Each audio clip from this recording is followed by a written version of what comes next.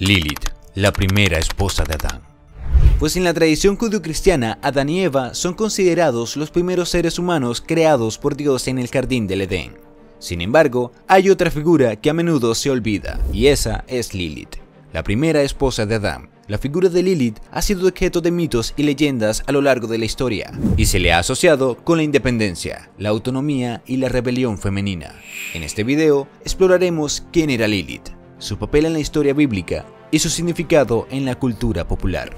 Desde tiempos remotos, Lilith ha sido un nombre asociado al mal, a lo prohibido, lo censurado, e incluso ha sido reivindicado por el feminismo al tratarse de la primera mujer sobre la Tierra.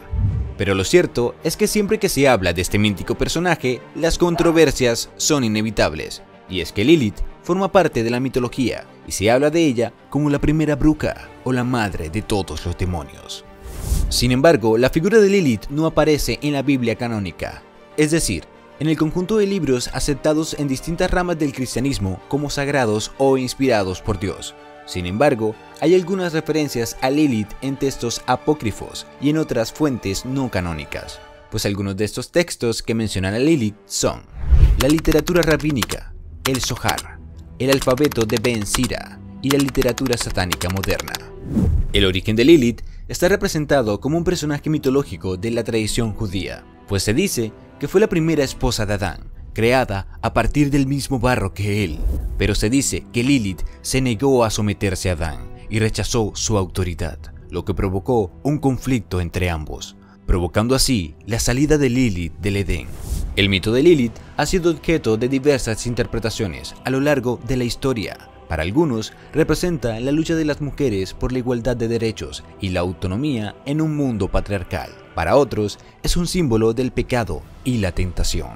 En la tradición mitológica, Lilith también ha sido relacionada con otras figuras divinas, como la diosa sumeria Inanna, algunos investigadores sugieren que el mito de Lilith podría tener raíces en rituales antiguos de fertilidad, pero en otras menciones se dice que Lilith se convierte en un demonio que acecha a los hombres en los sueños.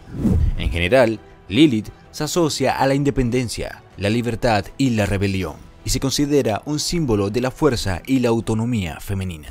Adán, al ver lo ocurrido, no toleró que su esposa se atreviera a igualarse a él, pues Lilith tenía su propio carácter tomaba sus propias decisiones y estaba dominada por un espíritu liberal.